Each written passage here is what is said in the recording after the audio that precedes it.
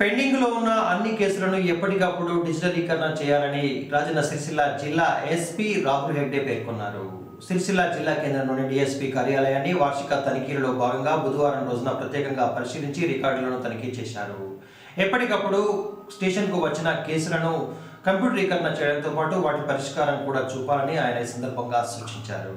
Police sub division office inspection చేయడం జరుగుతుంది. Inspection భాగంగా సబ్ డివిజన్ ఆఫీస్లో ఉన్న రిజిస్టర్స్ అని తర్వాత ఇన్వెస్టిగేషన్లో ఉన్న కేసెస్ ట్రయల్లో ఉన్న కేసెస్ని రివ్యూ చేయడం జరుగుతుంది.